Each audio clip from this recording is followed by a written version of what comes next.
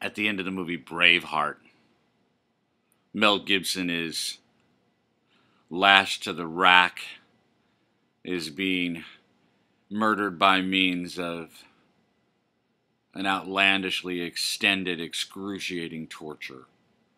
And through all of this, he's bellowing, Freedom! Freedom! And the crowd goes wild, and the audience goes wild, and uh, goodly number of people who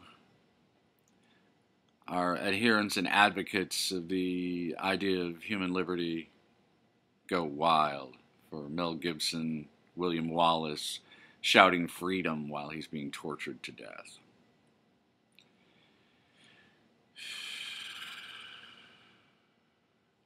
What was the freedom he was campaigning for? Was it his own individual freedom? No.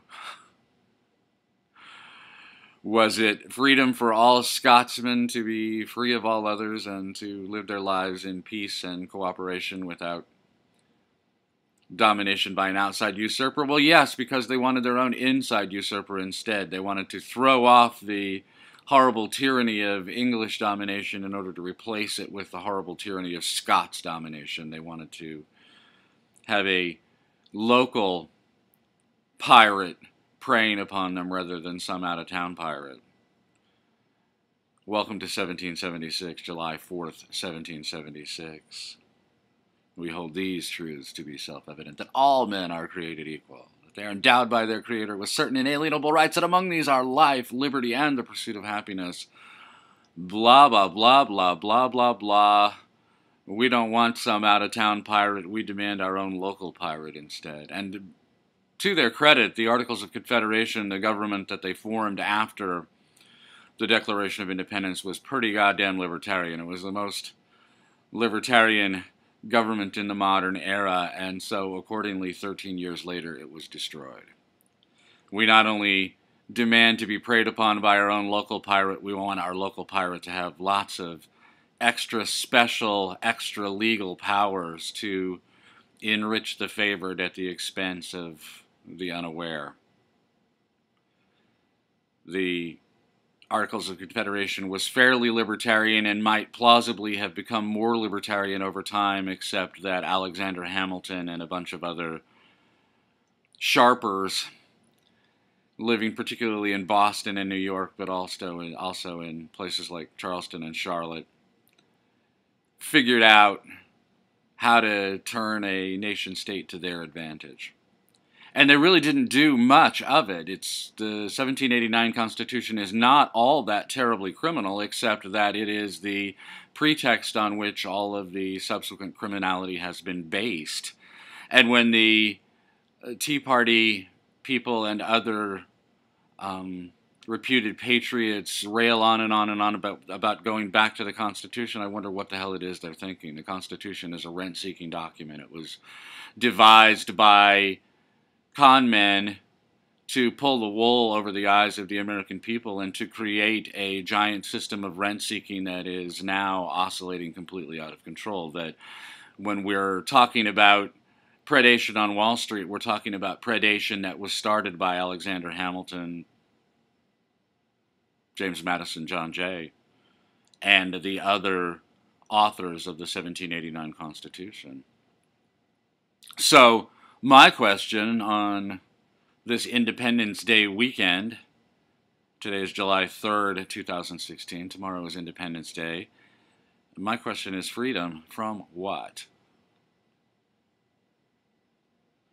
This is how to pursue your own damn happiness, how to pursue your own damn independence. And that, I guess, we look at this ass backwards as we do everything else we insist that we must have a government to do this, we must have a government to do that.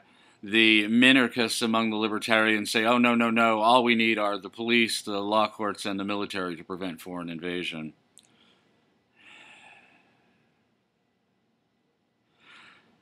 The problem with any pro government argument is that it's a pro dependence argument. Independence is a wonderful word because it implies my freedom from you or my country's freedom from your country or um, my liberation from my former imprisoned or incarcerated state. That's my independence. But the other way to think about independence is the absence of dependence upon some other person or entity, some social organization, some government.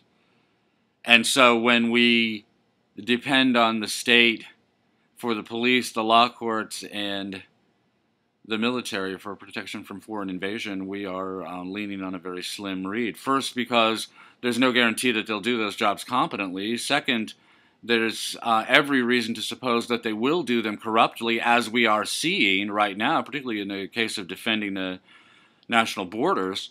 Um, but the most consequential thing is that it makes you dependent upon them. It, it robs you of your sovereignty and your efficacy to manage your own life independently. And so that is my remonstrance for Independence Day this year is to think about independence as your separation from every other social, involuntary social organization, involuntary social entity that would seek to make you dependent on it. Pursue your own damn independence by making yourself less and less dependent on people who are trying to enslave you. You want to be free. You don't want to be free from the King of England. You want to be free from all coercion. You want to be free from all force. You want to be free from all compulsion.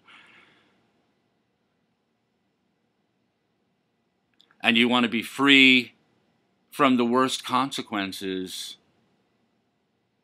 of the collapse of this corruption machine devised in 1789. Here's to 1776, to hell with 1789, and here's to making 2016 the birth of a new American liberty. My name is Greg Swann. This is the Church of Splendor. I'm so glad you could join me today, and I'll talk to you again next week.